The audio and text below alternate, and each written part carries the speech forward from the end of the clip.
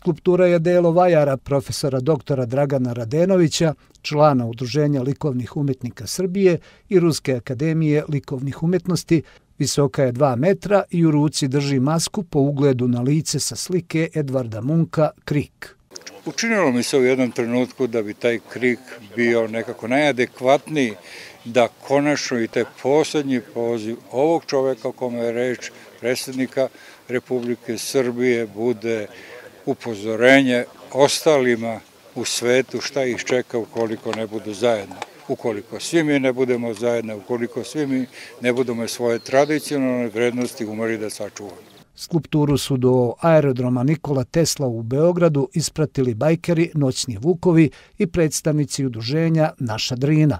Polako, kako godine prolaze, Srbi, a i naša ostala braća i prijatelji iz susednih država shvataju koja je uloga bila velikog srpskog predsjednika Slobodana Miloševića.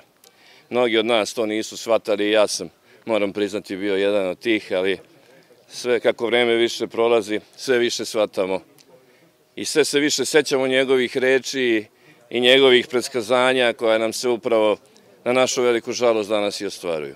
Kako su mediji ranije preneli članovi udruženja Sloboda, koje okuplja poštovaoce Slobodana Miloševića, nisu uspjeli u nameri da se njegova skulptura postavi u Beogradu, pa su u ideju prihvatili njihovi ruski prijatelji. Prema rečima autora skulpture, akademika Dragana Radenovića, ona će biti postavljena na postamentu visokom 2 metra, a deo oko nje će biti posebno uređen i za to je zadužen dugogodišnji glavni arhitekta Moskve, a sada predsjednik udruženja arhitekata. Planirano je da skulptura bude svečano otkrivena 11. juna u sklopu državne manifestacije i proslave Dana nezavisnosti koji se obeležava dan kasnije.